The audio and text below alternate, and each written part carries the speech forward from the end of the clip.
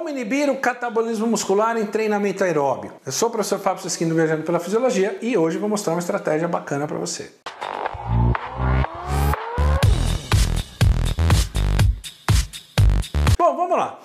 Que a gente fala de treino aeróbico, é, toda vez vem na nossa cabeça a seguinte relação. Eu vou fazer treino aeróbico e o treino aeróbico ele induz a respostas de hormônios catabólicos. E esses hormônios catabólicos, eles vão agir, por exemplo, na célula adiposa e vão agir no músculo esquelético, induzindo a respostas de catabolismo. No caso, do, no caso da célula adiposa, a resposta de catabolismo é pegar a molécula de triglicerídeo, que é a gordura armazenada, quebrar essa molécula em ácido graxo e glicerol para que elas possam sair de dentro da célula de gordura, ir para o sangue, o sangue transportar até o músculo esquelético para que essas moléculas sejam aí consumidas como fonte de energia. No caso do músculo esquelético, os hormônios catabólicos vão agir no músculo esquelético e vão induzir a resposta de catabolismo proteico, ou seja, vão quebrar as estruturas proteicas, principalmente das membranas da, da estrutura da célula muscular, então das linhas Z, das membranas mitocondriais, e obviamente vão criar aí resposta catabólica e vai perder massa muscular. Obviamente que a grande maioria da galera que quer treinar e quer emagrecer, mas também quer emagrecer e ganhar massa muscular ao mesmo tempo. Então, a grande maioria das pessoas não querem perder gordura e junto perder músculo. As pessoas querem perder gordura e ganhar um músculo para ter uma estética aí um pouquinho mais bonita, mais adequada, não é isso? Então, existe um certo dogma que é uma coisa assim: treino aeróbico cataboliza músculo. Então, se eu não quero catabolizar músculo, então eu logo eu não vou fazer treino aeróbico. Eu vou suspender o treino aeróbico e vou entrar, obviamente, com o treinamento de força. Então, a primeira coisa que eu quero dizer para você é que sim, o treino aeróbico ele pode acelerar o catabolismo muscular, mas isso não é nem isso não é sempre verdade. Existem condições onde o treino aeróbico não apenas não induz a catabolização muscular, mas pelo contrário, ele induz ao aumento da taxa da síntese proteica mitocondrial e também da síntese proteica da fibra muscular, inclusive induzindo aí as respostas de hipertrofia muscular. Então, para a gente entender tudo isso, como funciona, eu preparei um slide aqui para ficar mais claro para nós, beleza? Então vamos entender. Vamos imaginar que esse retângulo aqui é um músculo esquelético, tudo bem? Legal. Vamos imaginar ó, que aqui é o hipotálamo, que fica aqui ó, no centro da cabeça, mais ou menos na altura, aqui no centro seu, entre os seus dois olhos. Beleza? Aqui nós temos a glândula, a glândula hipófise, então porção anterior, porção uh, posterior, e aqui nós temos o córtex da glândula suprarrenal, beleza? Então, quando a gente fala no catabolismo muscular em treino aeróbico, logo a gente pensa no famoso hormônio cortisol, um hormônio catabólico que vai catabolizar a célula adiposa, né, o estoque de gordura, mas também vai catabolizar o músculo. Então, olha que interessante. Quando nós temos um estresse, o que é estresse?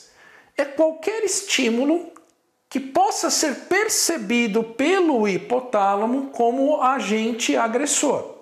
Então, a dieta é um estímulo, uma notícia ruim é um estímulo, e treinar aerobicamente, assim como qualquer treino, também é um estímulo. Então, vamos imaginar que eu comecei o meu treino aeróbico, beleza? Então, o treino aeróbico, eu comecei a correr, comecei a pedalar, começou a aumentar a temperatura, começou a ativar o metabolismo, a temperatura interna aumentou, comecei a ter sudorese. Então, o estresse fisiológico, o estresse fisiológico que o treino provoca, isso é percebido pelo hipotálamo, beleza? Legal. O que, que o hipotálamo faz? O hipotálamo, ele estimula a hipófise anterior, a produzir e liberar um hormônio no sangue chamado hormônio adrenocorticotrófico. O que é o hormônio adrenocorticotrófico? Ele é um hormônio que vai agir no córtex da glândula suprarrenal e vai estimular o córtex da glândula suprarrenal a produzir e liberar no sangue o hormônio cortisol. Legal? O hormônio cortisol sendo liberado, ele vai agir na célula adiposa, mas também vai agir aonde? No fígado e no músculo. Lá no músculo esquelético, o que, que o cortisol vai estimular lá? Já que hormônios são sinalizadores, eles vão sinalizar a célula, dar um comando para a célula fazer alguma coisa. Então, o cortisol Aqui no músculo esquelético, ele estimula a mobilização de proteínas, ou seja, ele vai ativar enzimas, que são enzimas que vão quebrar as estruturas proteicas do músculo, justamente para liberar aminoácidos para ficar livre ali dentro do músculo e também aminoácidos vão ficar livre no pool ali no líquido extracelular, beleza? Então, é por meio desse mecanismo que o cortisol vai induzir a degradação proteica no músculo. Daí que surge o dogma das pessoas imaginarem que o treino aeróbico cataboliza músculo. Agora a grande questão é a seguinte: o que você pode orientar o seu aluno? Você que é personal, trabalha na academia, no estúdio, o que, que você pode orientar os seus alunos que eles façam para inibir a ação do cortisol? Ou inibir acho que é uma palavra muito forte, né? Porque o treino ele é inerente à liberação de cortisol. Mas para minimizar a ação do cortisol no músculo, o que, que minimiza isso? Presta atenção. O que minimiza cortisol são os hormônios contrarregulatórios. Insulina é um hormônio contrarregulatório do cortisol, beleza? Legal. Qual é o fator de liberação da insulina? Carboidrato. Então isso significa que o que vai regular todo esse processo aqui, se ele vai ser mais intenso ou menos intenso no músculo, é um fator ligado à glicemia. O que é glicemia? Quantidade de glicose no sangue. Se você tem uma ingestão pré-treino de carboidrato adequada, se você tem uma ingestão de carboidrato, principalmente líquido, durante o treino adequado e após o treino adequado, obviamente que absorvendo a glicose no sangue vai criar um contraponto na insulina. Criando um contraponto da insulina e mantendo a glicemia, quanto você quando você mantém a resposta glicêmica dentro de certos dentro de níveis adequados, o que, que acontece? Você cria um fator de inibição no hipotálamo para minimizar a produção do hormônio adrenocorticotrófico e minimizar a produção de cortisol e minimizar a ação do cortisol no músculo esquelético. Então, para quem o treino aeróbico vai ser catabólico no músculo? Para aquele sujeito que vai treinar em uma situação não alimentada. Para aquele sujeito que vai treinar numa ingestão de carboidrato muito inadequada. Para aquele sujeito que está em dieta low carboidrato. Para aquele sujeito que está a 20 horas de jejum. Ah, então o jejum emagrece rápido? Emagrece, até emagrece. Só que não quer dizer que você está perdendo de cada um quilo, você não está perdendo um quilo de gordura. Você deve estar tá perdendo algumas gramas aí de massa muscular. E para manter o peso depois de perder, é essencial manter a massa muscular. Então não é sempre verdade que o treino aeróbico é catabólico no músculo. Ele é catabólico quando a tua ingestão quilocalórica total estiver abaixo, quando a sua ingestão de carboidratos estiver abaixo. Agora, se você organiza tudo isso, o treino aeróbico, pelo contrário, ele vai induzir respostas hipertróficas no músculo. Eu já fiz vários vídeos aqui no canal mostrando isso também. Então, para contrarregular a ação do, do cortisol é glicose e insulina.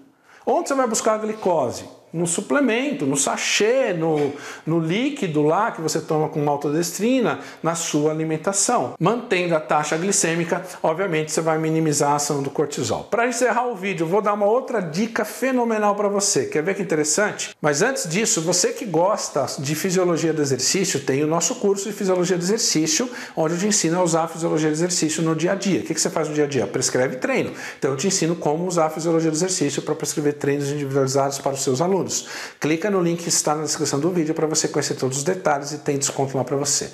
Então agora eu vou te dar uma outra informação. Presta atenção. O que, que é gliconeogênese?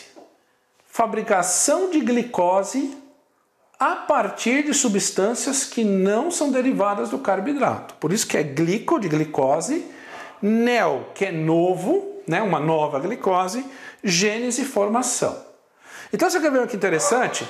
E pensa um dia que a tua agenda de personal está lotada. Está lotada e é aquele dia que você consegue parar, que você mal consegue parar para almoçar. Beleza? Pensou? Legal. Você já reparou que você está lá dando aula de personal, aí de repente você sente uma fomezinha? Sim, professor, sinto fome. E aí não dá tempo de você almoçar, porque você tem só 20 minutos de almoço, e aí o aluno quer conversar, quer sua atenção, você dá atenção para ele e você não almoça, aí você começa a sentir aquela fome, aquela, aquele mal-estar, a boca assim grudando, aquela fome, mas aí chegou o próximo aluno. E aí o que, que você faz? Você vai dar o treino sem se alimentar. Você já reparou que durante o treino a tua fome passou? A percepção de fome passou? Sabe por quê? Porque é o seguinte: se tu tá com fome, o nível de glicose no sangue deve ter diminuído. Quando diminui o nível de glicose no sangue, ativa um hormônio chamado grelina lá no estômago, que é liberado no sangue, vai agir aqui no hipotálamo e vai dizer para o hipotálamo assim: Ô hipotálamo, o nível de glicose do sangue baixou. Faz o Big Tiger sentir fome para meter a boca no carboidrato, para regularizar esse troço para mim. Só que aí você não comeu. A hora que o teu hipotálamo fez você sentir fome e perceber que você não vai colocar a boca no carboidrato, o seu hipotálamo fala assim: Ah, é, Big Tiger? Olha o que eu vou fazer, Big Tiger! Ó, vou estimular a hipófise, libera aqui, estimula aqui, aumenta cortisol. O cortisol vai agir no fígado e vai estimular o fígado a produzir nova glicose e liberar essa glicose no sangue para aumentar um pouquinho a sua glicemia, para passar mais sangue com glicose lá no estômago, para diminuir a produção de grelina pelo estômago, para aliviar a sensação de fome do teu hipotálamo. Então, de novo, carboidrato é o que manda para com esta coisa de que querer fazer dieta muito low carboidrato sem organização. Isso ferra a tua fisiologia. Beleza? Respondida a pergunta? Então deixa um like agora no vídeo, compartilha, deixa o seu comentário, faça as suas perguntas, porque a sua pergunta pode virar um vídeo novo aqui no canal, beleza? Não está inscrito no canal, faça inscrição. Terças e quintas às 21 horas um novo vídeo para você. Um grande abraço e um ótimo dia.